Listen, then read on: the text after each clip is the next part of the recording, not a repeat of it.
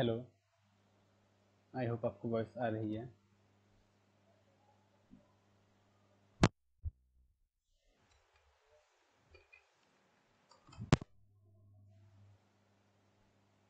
पता नहीं कि जैक कनेक्टेड शो नहीं कर रहा.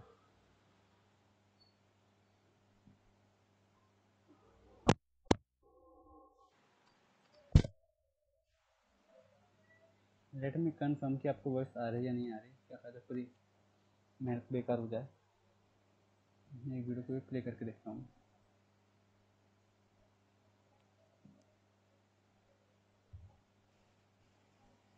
प्रोग्राम ठीक है आ रही है। डैश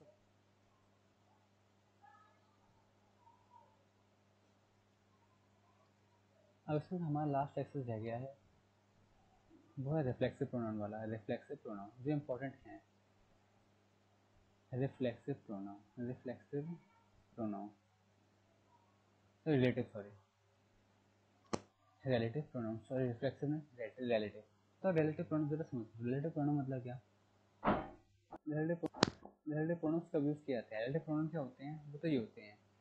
क्वेश्चन वर्ड्स ठीक है? ये होते हैं रिलेटिव प्रोनाउंस और ये इंपॉर्टेंस नहीं, ये इंपॉर्टेंट नहीं है कि ये क्या होते हैं। ये इंपॉर्टेंट है कि होते क्या हैं, लेकिन कब यूज़ किया जाते हैं? सबसे ज़्यादा इंपॉर्टेंट है कब यूज़ किया जाते हैं when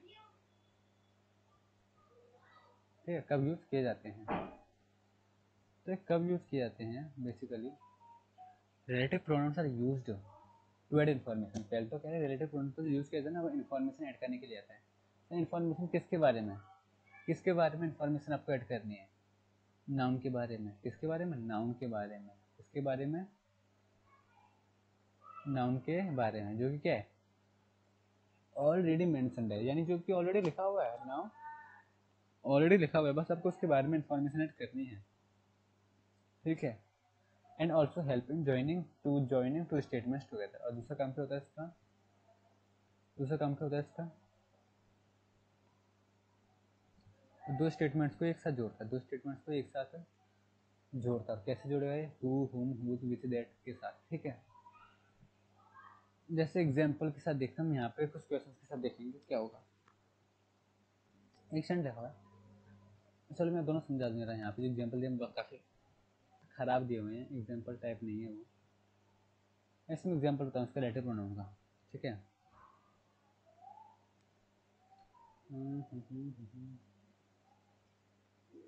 I saw a boy एक sentence लिखाऊँ I saw a boy a boy ठीक है, पहला सेंटेंस दूसरा, फिर इससे क्या आगे मैंने लिखा? ही वॉज़ ड्राइविंग मैंने एक लड़के को देखा, वो क्या कर रहा था? वो ड्राइविंग कर रहा था। ही वॉज़ ड्राइविंग ठीक है। तो रिलेटिव प्रोनाउन का यूज़ कैसे होता है? तो रिलेटिव प्रोनाउन का यूज़ पता है कैसे होगा? आई सो अ बॉय मैंने एक लड़का देखा। ठीक है, लड़का देखा। एंड नाउन ऑलरेडी प्रेजेंट है। ये बॉय क्या है? बॉय नाउन ही का है। बॉय क्या नाउन है? नाउन ऑलरेडी अब इस नाउन कार्ड में क्वालिटी ऐड करनी है। इस नाउन कार्ड में एक इन्फॉर्मेशन ऐड करनी है। सर, क्या इन्फॉर्मेशन ऐड करनी है? आपके पास सेकंड इन्फॉर्मेशन सर, आपके पास एक इन्फॉर्मेशन तो ड्राइविंग कर रहा था। जब आपने देखा था, वो तो ड्राइविंग कर रहा था। उसकी इन्फॉर्मेशन इसी सेंटेंस में ऐड करनी है। और सेंटेंस को ज्वाइन भी करना है। यानी ज्वाइन करने के बाद आपको इन्फॉर्मेशन ऐड करनी है। ज्वाइन कैसे करोगे? I saw boy who was driving who was driving? तो ये आपका बीच में जो आया, ये आपका बीच में जो आया हु ये क्या है? रिलेटिव प्रोनाउन जैसे हु ने क्या किया? एक उस नाउन को रिप्लेस कर, एक तो इस प्रोनाउन को वो रिप्लेस कर दिया। इसकी जगह पर आ गया तो ये हो गया रिलेटिव प्रोनाउन ठीक है? और इस वर्ड ने सेंटेंस को ज्वाइन भी कर दिया, और इन्फॉर्मेशन भी एक्स्ट्रा प्रोवाइड करा दी कि वो ड्राइविंग करा रहा तो I saw boy who was driving who was driving ठीक है? अब यहाँ पे एक रूल और लिख लो, एक कुछ वर्ड्स लिख लो, एक टेबल बना लो। एक टेबल बना लो ऐसे। हु ठीक है। दैट हु के बाद पहले विच लिखना। Who which that? ठीक है। बात की चीज़ें छोड़ दो, है ना बस? इन तीन चीज़ों में डिफरेंस होता है। हुम और हुज तो पता ही मीनिंग ये जो हु है विच है दैट है इनके मीनिंग सेम ही होते हैं। हिंदी में इनके मीनिंग क्या होते हैं? जो की जो की तो जो की मतलब मैंने एक लड़का देखा जो कि ड्राइविंग कर रहा था। सबका मतलब क्या निकला? मैंने एक लड़का देखा जो ड्राइविंग कर रहा था। मैंने एक लड़का देखा जो ड्राइव कर रहा था। तो उसका मतलब क्या होता है हिंदी में? तीनों का हिंदी में मीनिंग क्या होता है? जो जो ड्राइविंग कर रहा था। लेकिन कब जो लगाएँगे? तो लिखो। फॉर ह्यूमंस यहाँ पे लिख लो।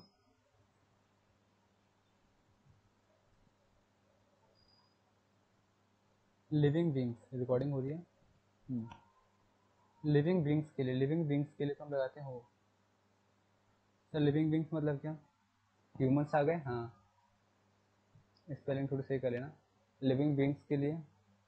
तो लिविंग बींग्स में कौन गए ह्यूमंस आ गए?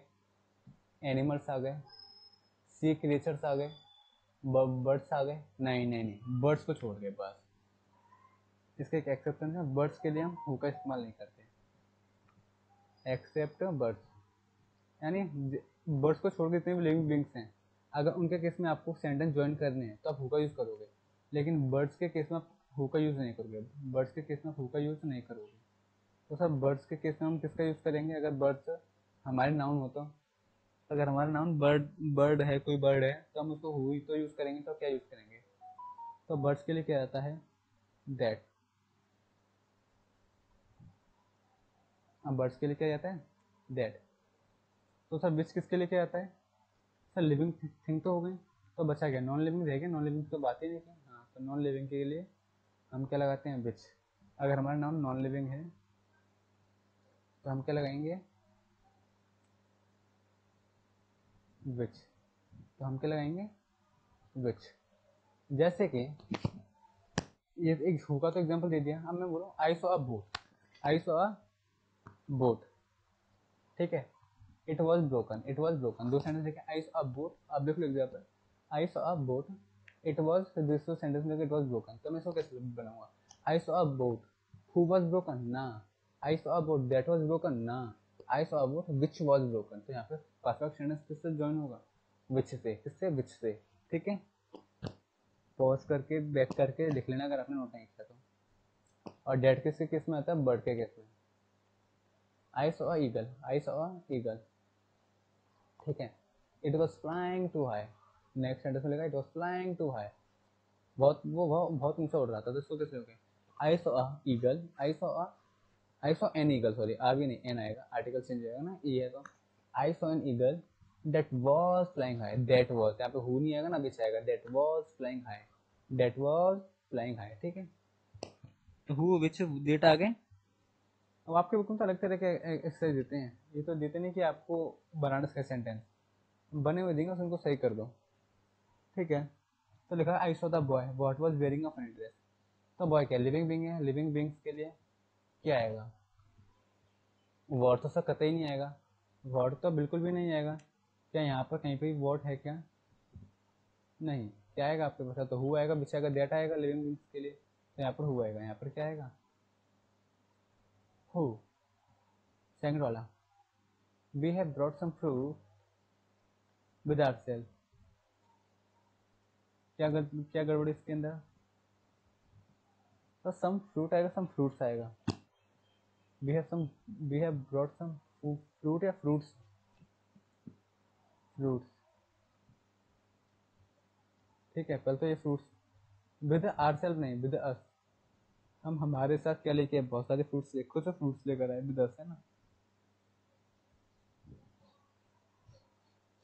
This is not my pen this is not this is not mind pen ये गलत है. This is not mind pen गलत है। इसका क्या होगा? आई थिंक आपने कर this pen is not mind this pen is not mind this pen is not mind है ना?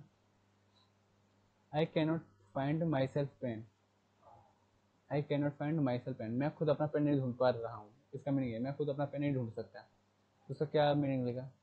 I can I my self can not find pen I my self can not find pen sir ये क्यों आपने आई का क्यों my self लगाया ये पता नहीं क्यों आपके में दिया हुआ रिफ्लेक्सिव प्रोनाउन तो आपके में दे रहा है। रेफ्लेक्सिव प्रोनाउन के ना रूल होते हैं। बेसिकली और माई के माई में बेसिकली रूल स्पेसिफिक होता है। या तो माई बिल्कुल लास्ट में लगाओ फॉर का यूज़ करके। या तो माई सेल्फ आप कहाँ पे लगाओ, बिल्कुल एंड में लगाओ फॉर का यूज़ करके। या फिर आप माई को स्टार्टिंग में लगाओ आई के तुरंत और आई के तुरंत और। जैसे I my self made some tea I my self made some tea नहीं सॉरी गलत हो जाएगा। देखो दो तरह के। I cannot find my self यहाँ पर लिखना I cannot find pen for my self upon book वाली तरीका देखो। क्योंकि यहाँ पे जो मैं रूल बता रहा हूँ, वो थोड़ा अलग है। I can not find pen for my self pen अपने लिए पेन नहीं ढूंढ सकता। ठीक है? We did the work them self क्या है क्या? We did the work them self we को एज अ ऑब्जेक्ट यूज़ करेंगे तो क्या आता है? देम सेल्फ आर सेल्फ तो आर सेल्फ आएगा यहाँ पे। क्या आएगा? We did the work our self ठीक है? With who are you going to see the movie तो विद हु कोई वर्ड नहीं होता विद होम होता है। विद होम है ना? With whom are you going to see the movie ठीक है? Ritu cement my self are good friends my self को काटो। माई सेल्फ कभी सब्जेक्ट नहीं आता।